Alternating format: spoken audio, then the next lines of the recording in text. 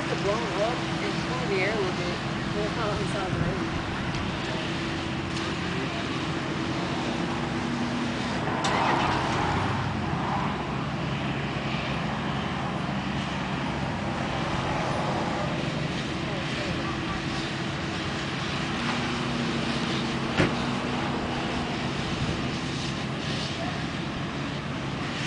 Thank you.